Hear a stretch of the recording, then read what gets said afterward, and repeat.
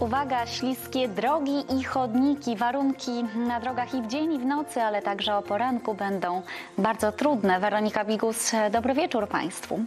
Przed nami zmiana pogody, koniec mroźnej aury, przemieszczająca się z nad Niemiec na wschód. Zatoka niskiego ciśnienia z ciepłym frontem atmosferycznym zaczyna kształtować pogodę w naszym regionie, przynosząc oczywiście ocieplenie. Noc na Pomorzu pochmurna z opadami deszczu. Przy gruncie temperatura jeszcze na minusie, dlatego początkowe opady będą marznące, a to oznacza także, że na drogach pojawi się gołoleć. Temperatura od minus 3 stopni w okolicach Kwidzyna do 1 stopnia na Półwyspie Helskim. Wiatr umiarkowany do dość silnego, okresowo na wybrzeżu w porywach będzie silny. Ciśnienie wynosi 1020 hektopaskali i spada.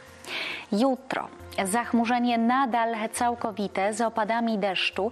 Temperatura na plusie od 2 do maksymalnie 5 stopni. Wiatr umiarkowany, chwilami dość silny. Ciśnienie wyniesie 1015 hektopaskali i będzie spadać.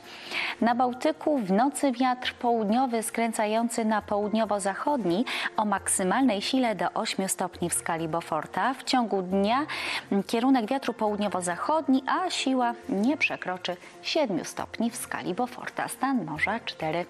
Dziękuję Państwu za spotkanie. Dobrego wieczoru życzę. Do zobaczenia.